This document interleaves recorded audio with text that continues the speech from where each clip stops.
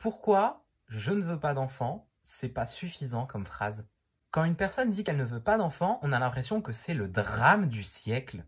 Et c'est pire si la personne est une femme.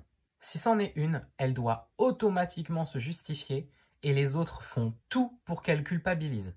Ok, c'est quoi leur argument? C'est égoïste. Ne pas vouloir d'enfant, c'est imposer la vie à personne. On n'impose pas un monde, on n'impose pas un contexte, on n'impose pas une situation.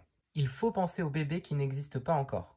Donc, il faut imaginer un bébé d'après l'envie des autres, même si ce n'est pas l'envie de la personne. Il faut penser à celles qui peuvent pas en avoir.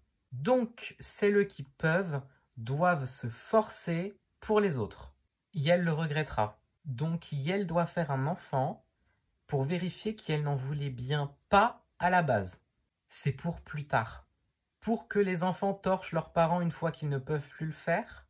Ou pour qu'eux-mêmes fassent des enfants sous peine de subir la même culpabilisation que leurs parents à l'époque? Et si le partenaire en veut, personne ne doit se forcer pour quelqu'un. Si la personne en veut, elle peut partir. Elle n'est pas prisonnière. L'humain est fait pour ça.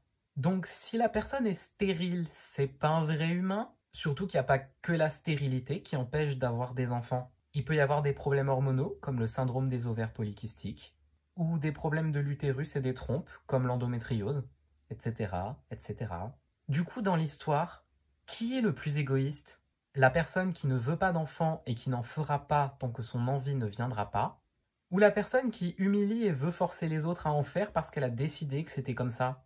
Surtout que bon, on est 8 milliards sur Terre avec une moyenne de 1,87 enfants par personne donnant la vie. Oui, Google dit par femme, mais comme tout le monde n'est pas cisgenre, euh, eh, je fais ce que je peux. Je pense qu'on peut se passer sans problème d'un pourcentage de personnes qui ne font pas d'enfants.